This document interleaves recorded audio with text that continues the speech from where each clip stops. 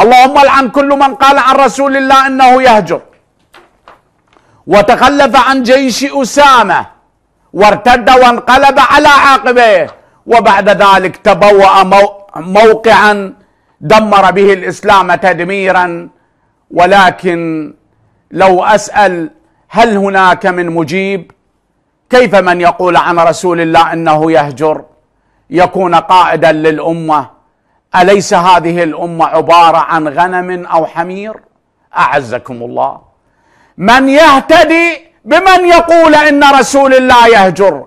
هل هو من هو الذي أشرف منه الحمار أشرف منه البهيمة أشرف منه الخنزير أشرف منه واحد يعتدي على ربك رسول الله وأنت تهتدي به أنت مشرك معه في نار جهنم.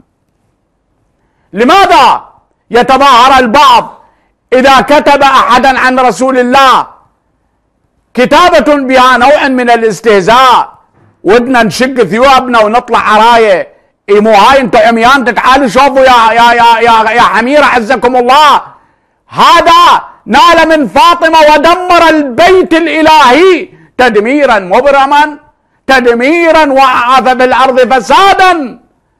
لعب بأحكام القرآن فعرضها عن موضعها واستبدل الإسلام بالجاهلية المقيتة. ولا زلنا لهذا اليوم ندفع الثمن. ولكن نحن ابينا أن نقول الحقيقة. خوفا على كراسينا لأن من نصبنا هو. من أطاح بفاطمة وعلي هو الذي ينصبنا لهذا اليوم.